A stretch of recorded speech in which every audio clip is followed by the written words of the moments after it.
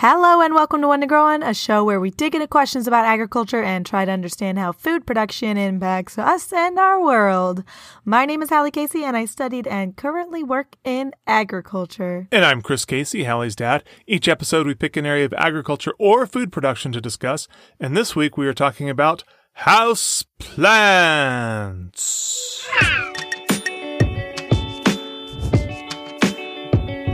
What do you know about the humble houseplant, Dad? Why would anyone want to live inside of a plant? Oh, brother. As their house. Oh, God. Their house. Oh, no. It's, Um, uh... I know that they are plants that you can put inside of your house.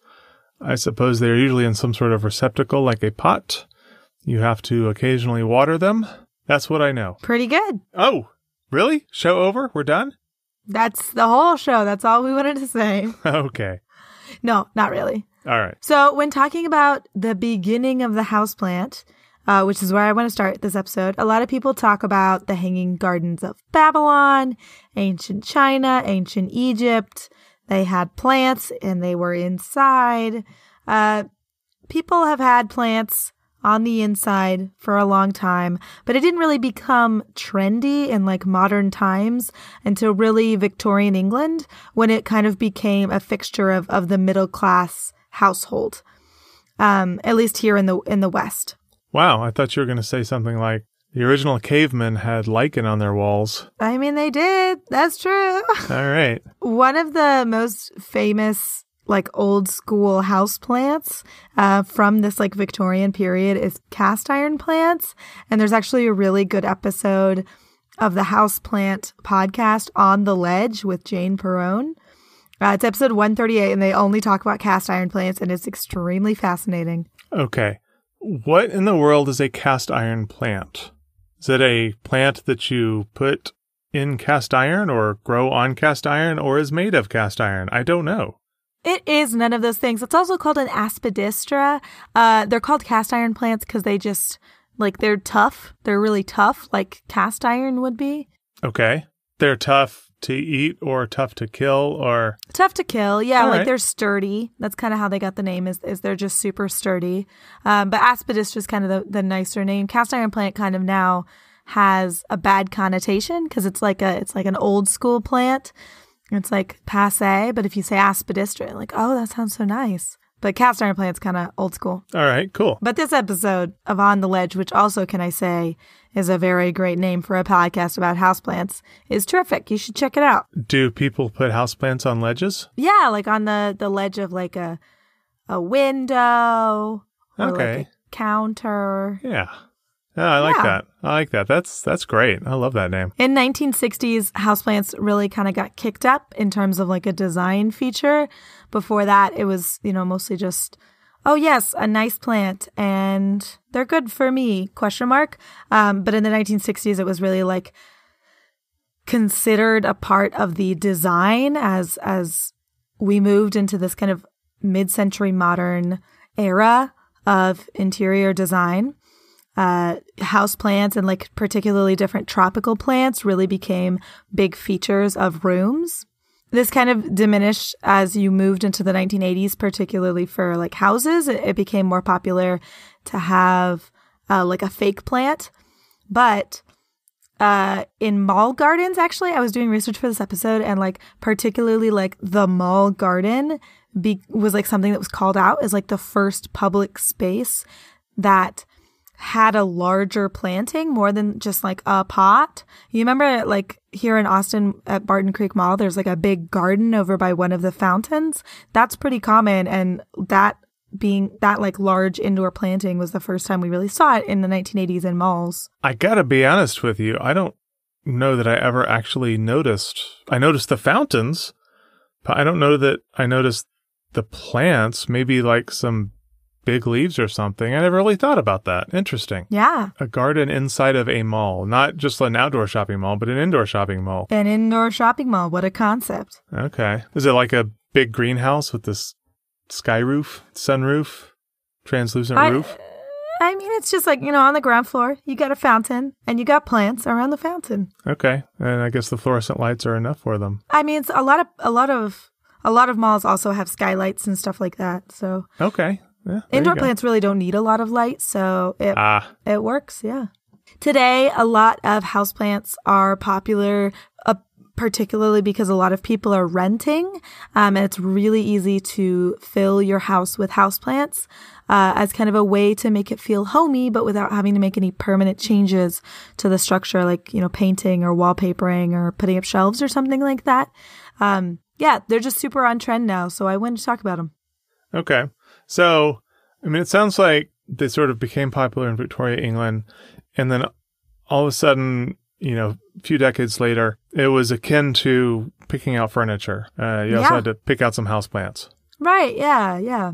Um, a lot of reasons for that are mostly around the advancement of the industry and uh, the advancement of like greenhouse technology. It's become much easier to find those tropical plants that you know maybe we just couldn't find them in the 1920s and 1930s because we didn't have ways to transport them and carry them and that industry really hadn't developed whereas now you can find them at every single supermarket at every single hardware store like they're just super common uh, because that industry has really developed and we have ways to transport them and care for them and all that Is it true if they do better if you play music for them? i don't know i don't know maybe we could do a whole episode on playing music for your plants Okay.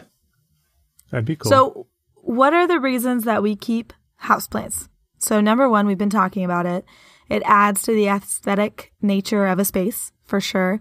I found a lovely Architectural Digest article that particularly talked about feng shui, which, of course, is an ancient Chinese method of creating like a balanced energy in a space. And they offered like some suggestions of, you know, different things that you might want to do in your house both in terms of design and in terms of more utilitarian things. So, for example, if you wanted to give your space a sense of grounding or softness, they recommended philodendron or jade. If you wanted to heighten the, the space, they recommended ficus or rubber plant or a banana leaf plant, all of which are quite tall.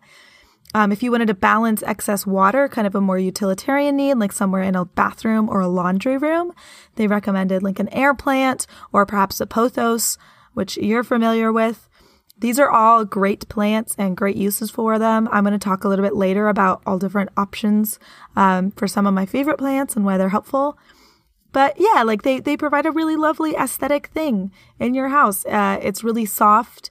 They're really lovely and it, it's a very different shape than most of our furniture nowadays.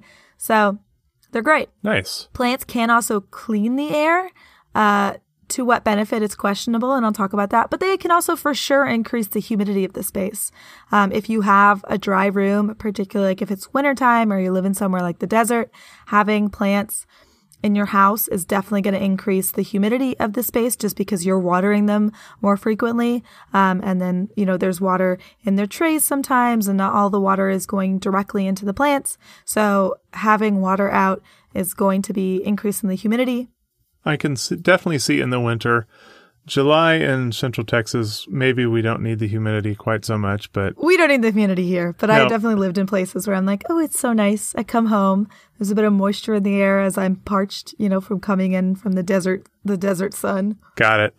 There was a NASA experiment that was published in 1989 that was investigating ways to like effectively detoxify space station air. And they found that in a lab environment, indoor plants can scrub the air of volatile compounds like formaldehyde and benzene, which are things that we don't want in our air. Uh, Yeah. however, you know, if you really have a medical need for air purification, don't replace your air purifier with just plants. Plants Okay. are doing this, but not on a huge level. I mean, they're they're very small guys. They they can only do so much. you can't put like a whole rainforest in your bathroom. Yeah, I mean, they're lovely to have, but if you need air purification, maybe have both. I don't know. Uh, but yeah, they, they do do this, but in a outside of a laboratory setting, it wasn't a, a really remarkable difference. Okay. Okay. I want you to imagine a scenario for me. Okay. All right. I've got my brain camera turned on. Okay. So you're sitting in a room. Sitting in a room. There are no windows. Why? There, the chair you're sitting in is really hard. It's kind of uncomfortable. Am I in prison? Uh, sure, if you want to be in prison, I don't you wanna can be in imagine prison. yourself in prison. I'm in a really hard chair with no in a room with no windows. Okay. Yeah. Uh, the light overhead is kind of bright. It's like fluorescent. The ground under your feet uh, is like a reflective tile. So it's kind of, you know, there's light reflecting back up at you, and all the walls are like a bright white. This seriously How- sounds like the intro to a horror movie. How do you feel, right? yeah, no, it's awful. Not good. Okay, now imagine the same room, but there's a really big rubber tree plant or ficus plant in the corner of the room. How does that change things? I guess it it creates one point of interest. Yeah. Yeah. How do you think your your physical reaction would change to that room? Would you feel I don't know, more stress, less stress? I would No feel change? I would feel less stressed, except if I walked into that room in the first description, I'd be like, "Oh, this is a really weird, cold, creepy room." In the second description, I'd be like, "Oh, this is a really weird, cold, creepy room." But look, there's a plant over there. That's kind of weird. Why did someone put a plant in the corner? Yeah, okay, that- sure. It's a, not a perfect But I, description. I see what you're saying. You know, it's it's the cold, creepy room versus the cold, creepy room with like a little life in it.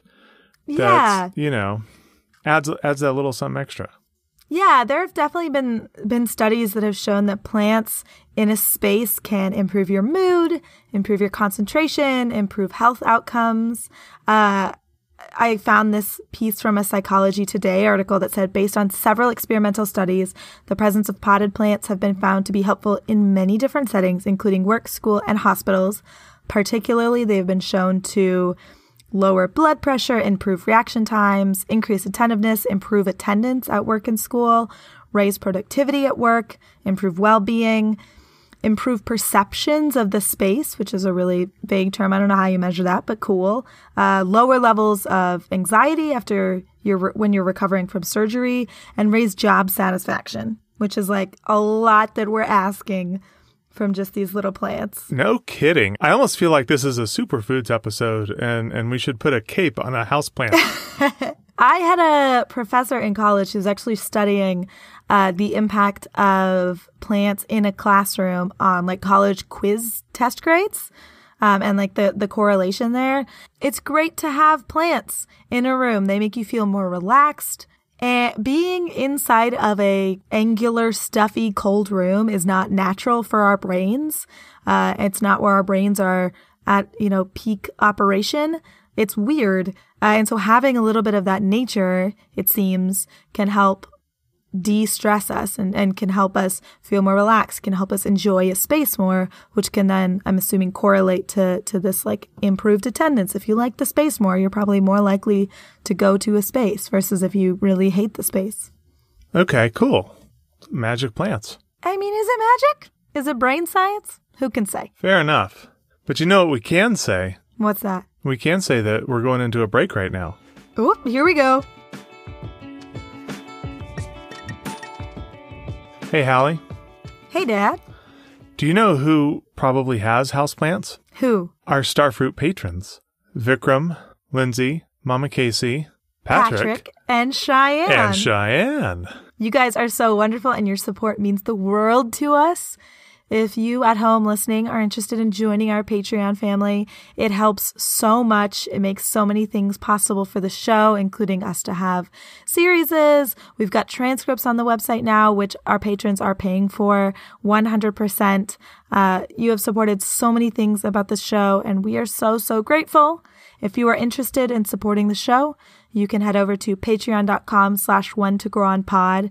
We have a lot of different super fun tiers. Yeah, uh, tiers that get you bonus content like uh, outtakes and little extra audios. Uh, we got the Plant of the Month Club. We send you a little digital file with some plant facts about certain plants and a recipe using that plant. And sometimes we'll mail you a postcard, but we haven't recently because I have been a little afraid to go to Office Depot to get it printed out and go to the post office to mail it out. Don't want to do that because there's a plague on, but we will get those mailed out someday. And our Starfruit patrons get all kinds of goodies like boxes of stuff. Yeah, yeah. We've been doing like goodie boxes for Starfruit patrons. We just did the first one I guess back in June. Yeah, June is when they got delivered. Uh, and we worked with a really cool artist in Australia, and she mailed them soaps and handmade candles and handmade lip balms and a bunch of really cool stuff. Uh, the next one is going to be closer to November, December. We're doing it about twice a year, so we'll be talking about it again when we get closer to that. But if you're interested in supporting the show at any tiers, any levels, you can do $1. You can do more than that. We would really appreciate the support. Um, if the show is something that is meaningful to you, it's it's great. We have so much fun over there. You also get like a Discord channel and we can chat. Gosh, I feel like this mid roll is not going well. It's going super long. You know what I would appreciate if we got What's back to that? the episode. Oh my god. Okay. Dad, you got a nature fact for us? I do have a nature fact. Hit me. All right. So, in the beginning of the episode, I asked who would want to live in a plant anyway? Mm-hmm. Because it's hilarious, right? Sure. Well, you know who does live in plants is the Keebler elves. They live in a tree. Yep. They do. And you know who it turns out is a subsidiary of Keebler? Who? Little Brownie Baker. Okay. They are one of the bakers that make Girl Scout cookies. yeah, I know so this. for half of the country, Keebler makes Girl Scout cookies. Not only that, but Keebler has their own cookies that are the same flavors as some of the Girl Scout cookies, like Thin Mints and Samoas. They're just not Uh-huh. as exciting to buy from Keebler as they are from Girl Scouts. Right. This blew my mind. Is this? Did you already know all this? it's not blowing your mind. I was a like- Girl Scout. I knew this. Wait, you knew? So I feel like you were in on something. I was in on something like a conspiracy. Yeah, like We you, don't have little brownie here. We don't have Little Brownie in Texas. We've got ABC, so it's like a totally different distributor. So even if I bought the girls, the Keebler Thin Mints, they wouldn't be the same as the Girl Scout Thin Mints that we get here. I mean, it's like the same formula. I don't know how different it is bakery to bakery. I've never done a, t- a test comparison. All right. Well, I don't know. I feel like I'm giving some pretty significant information to the rest of the world. So you can be like, yeah, I knew that, whatever. But I bet, I bet listener, I bet there's at least one of you out there that did know that already. Congratulations to the rest of our listenership, other than me, uh, on now finding out that you can buy Thin Mints all year round. But it does not go to support Girl Scouts, which is really great for the development of leadership skills in young women. So support Girl Scouts. True. Oh, wait, I have to do the theme. Oh yeah, you got to do the theme. Don't forget to do the theme. Da da da da da nature fact. nature fact. So let's say I've gotten really excited about the idea of getting a houseplant after you told me about all this great stuff. I hope so. What do I need to do other than purchase it? What do houseplants need? Yeah, I want to put it in the corner of the room that I use for my office. Okay. Plants need light and water and carbon dioxide and nitrogen and phosphorus and potassium. Okay, so I can definitely supply carbon dioxide. Great. I would probably have to remember to give it water. How often would I need to give it water? I guess it probably depends on the plant. Correct. You say it needs light. Yep. Is the light from my overhead enough? Probably. Probably, But- really. Okay. But maybe not. But Yeah. maybe not. So maybe if there's a window in there, that's a good thing. But maybe the light is good enough. So, but I have no idea how to get it nitrogen, phosphorus, or potassium. Do I give it bananas? Uh, I wouldn't. No, No. personally, would not do that at all. Uh, if you plant it in potting soil, it has a lot of nutrients in it. If you plant it with compost, then that improves the nutrition as well. Uh, but also, you will probably want to have some kind of liquid fertilizer. Eventually, it will need it. Uh, there are different options. There are mineral versions, there are organic versions. You can just go to your local nursery and say, Hey, I have this plant. What do you recommend? And they have a, a myriad of options. Uh, you can buy it at, at a large hardware store like a big box, but I always recommend shopping local because they typically uh, have a wider selection and they will also have great knowledge on what would do best for your houseplants. So wait, if I have, say, a slightly bigger houseplant that I have to put on the floor, maybe it's a, a ficus or something that, you know, takes up a large area of a pot. Mhm.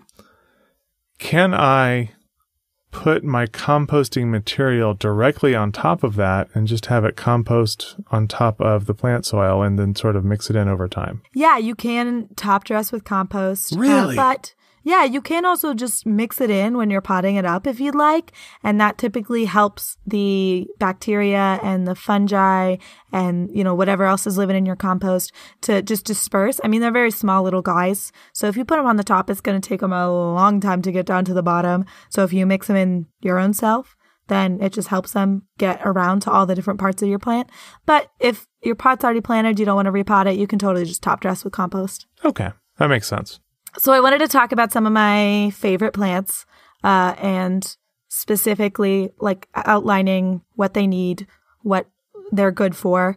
Uh, and then after that, I was going to talk about some of the common issues and some of the best practices, uh, for having houseplants. Lay it on me. So number one, pothos ivy. You know this plant. It's what your houseplant Gary was. Uh, doesn't need full sun.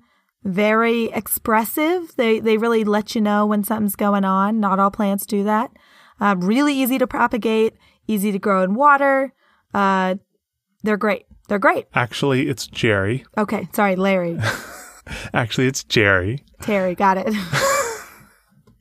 Um, so, but I, I feel like though, and I feel like I'm cutting you off a little bit here. I feel like there was a point where the little jar of water that I was growing him in wasn't good enough anymore, and I needed to do something else with them, like move them to a mm-hmm. different container or to some dirt or something. Does that make sense? Should I have done something with them?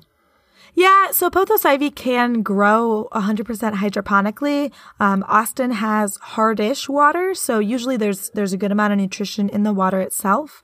But if you want the plant to continue creating new leaves um, and and growing, as opposed to just growing small amounts and then shedding the old leaves, um, so really increasing the the amount of leaves and and the the size of the plant, then you probably will have to add additional nutrition into the water just so that it can fill all them cells up, you know? But you don't like move it to a bigger container or anything like that. I don't know. I mean, you might eventually need to do that, uh, just based on gravity mostly, like physics. If like Okay. physically it's not holding up, then yeah.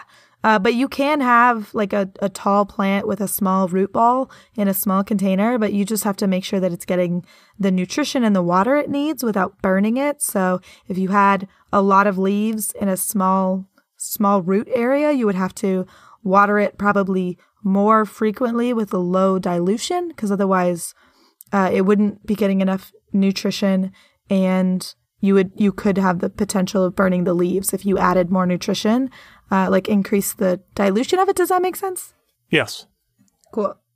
Uh, next, rosemary. Uh, rosemary does need full sun, so you gotta have one of the big windows for it, but it does not need a lot of water. Also smells very nice and it will flower, and you can also eat it, which is a bonus. Goes great on chicken. Three, peace lily. Uh, I was informed one time by someone who worked at a florist shop that this is a plant that you get people when they know someone who has died as like a condolence plant, but it's not just that. But just so you know, they might make a comment when you try and buy it. Uh, it does not need direct sun. It's one of the best plants for low light. Uh, it's a really, really good office plant because it's nice and big, uh, but it grows really slowly and it doesn't get super tall. So it's it's super manageable and it has nice flowers. Flowers are great. Love a flower. Number four is the bromeliad. Uh, the flowers on this one have super nice color. Depending on what you get, you can get a pink, a yellow, an orange, a red. Um, they do need high drainage and they can tolerate high sun, but they're super lovely. The fifth one is a Dieffenbachia. These are good for small plants, um, but they can also get really big, which is super nice. They do need good drainage, but they're also super good for low light. Cool. Lots of options. Lots of options. Those are my faves. There's a billion jillion houseplants, so you don't have to get one of these. Please send us pictures of your houseplants on Twitter, even if they're not one of these six plants, but especially if they are, please send pictures. Five plants. You talked about five plants. One, two, three, four, five. I talked about five plants. okay, so next I was going to talk about some of the common issues uh, with plants, houseplants. You can get some pest problems. Some of the most common pests are whitefly, spider mites, scale. The most common time to get a pest for your houseplant is when you buy a new plant and it's already infected. You can have one of your existing plants get infected with a pest, but it's it's just not as likely because the the pest has to be introduced somehow, and it's your house, uh, so you're usually not bringing spider mites in to your own house, uh, other than on a plant. So when you buy a plant, this is another reason to to be really critical um, when buying your plants, thinking through where you're buying it from. Do you trust them? Are you sure it's clean? Inspecting plants before you bring them home. Uh, I oftentimes, if I buy a new plant, I'll keep it away from my older plants, like my existing plants in the house, just to make sure I don't see any symptoms or issues uh, before introducing it to the rest of the house. Okay. Do they follow you home? Do what? Wait, what do you mean? Spider mites, like maybe you're walking home from work and the spider might say, "Ooh, I bet he has a nice house plant." And they just Oh, probably not. No. okay. Uh, if you have, if you get an infestation in your plants, um, just start by pinching off as many of the insects as you see. That might be able to curb the infestation before it like really takes off. But if it kind of takes off, you want to separate the infested plants from those that are not infested. Uh, and you just have to research treatment methods based on what the infestation is. It depends based on pest. Sorry, I can't give more specific advice. I was going to say, if the pest is new to you, you probably have to research what even the pest is before you research Yeah. the treatment method. Okay. Yeah, unfortunately. Other issues you can get disease. Um, typically, it's a fungus. Sometimes it's a bacteria that will affect a houseplant. Uh, similar to pests, the most frequent time to get this is with a new plant. Similar to pests, you'll want to you know cordon off the infected plant. There are several common diseases that can plague houseplants. Uh, one of them is powdery mildew, which can really easily be treated by spraying a solution of water and baking soda onto your onto the leaves of the plant. If you get a fungus in your potting soil, you just have to replant the plant in brand new soil, toss out the old stuff. But also, if you see mushrooms in your houseplants, don't worry about it. It's probably just compost mycelia that is now fruiting, so it's fine. Are they talking to the plant? Yeah, they're probably talking to the plant. It's great to have fun fungi in your soil. But if it's like a if it's like a fungal infection, if it's causing issues, then repot. Just shake off as much of the soil from the roots as you can. Try to get it really clean and then repot. All right. If your plant is wilting, yellowing, showing general signs of poor health, uh, then it's it could be being watered incorrectly. Uh, both overwatering and underwatering can show similar stress signs, which can be frustrating. However, you probably know how much you're watering it. So if you think you're watering it too much, water it less. If you think you're not watering enough, then water it more. Both cases of over and under watering, it's because the roots aren't functioning properly. They're not able to take up water. If you're underwatering it, then the water's just not there. So the, the roots begin to die off and they're not able to take that water up. But if you're overwatering it, then the roots become anaerobic. They, they don't have enough oxygen. And so the roots begin to die off and they can't take up water. So that's why it looks similar. Um, but usually if you have root rot, if, if your, you know, roots are becoming anaerobic, it's being overwatered, then you can just feel the, the soil. And if it's still wet, then it just really needs to dry off. You might need to pull your plant out and repot it. But usually just changing the watering regime is, is good enough. You can also have incorrect light. So if your plant is yellowing, it's not getting enough sun. Uh, if it's being scorched, if it looks like it's being burned, like there's there's brown spots on the leaves, then it might be getting too much sun. All right. So that's a run through of like issues. Uh, some of the best practices to avoid these issues always consider your environment when deciding which plant to get. We talked about this in the vegetable gardening episode as well. Uh, don't get a full sun plant if you're planning on putting it under a fluorescent light. Don't get a partial sun plant and put it next to a window. It will get scorched. Um, consider how often you want to be watering your plants. Think about your own preferences uh, with with how you want to be interacting with your plants. Always plant it correctly. You want to make sure that your root ball is higher up in the pot. Uh, this is one of the main mistakes that I see people make with houseplants is they plant the root ball too low and then it's hard to get oxygen into the root ball zone. Uh, so make sure it's planted nice and high up in the pot. So the root ball, I guess, is just the roots of the plant. Mm-hmm. And if it's too low, it can't get oxygen, Mm-hmm. which sounds weird. I don't understand why that is. Well, I mean, we've talked about soil in the past. Potting soil is different from ground soil, obviously, but potting soil still has a lot of oxygen in the roots. Um, the soil in the ground is like 50% pore space usually. Okay. So potting soil usually has a little bit more than that, but our plants are are used to growing in soil in the ground, and so they they need that pore space. Uh, and usually it'll get filled up with water, and then the water will drain quickly, and then it will get filled up with air again. Um, and if you don't have air in your root zone, uh, then you get, like I was talking about earlier, you can get anaerobic conditions with your roots. Got it. Um, so if they're not getting enough water, then the roots can begin to rot. You can begin to have fungal issues. You need to have some kind of air movement, which does not seem intuitive. It's true, but is still important for good plant health. The exception is if you're growing something hydroponically. Obviously, it's already anaerobic, but it's a different situation. Make sure you're always using high quality compost and or good potting soil or coir or whatever you're using. Uh, if you're planting in a jar or a mug or a cup or something without drainage, you you can do that, but you will need to repot the plant regularly, at least once a year. If you plant in a pot, uh, you might start to see like a white crust appear on the top of your potting soil. That's salts building up from your tap water.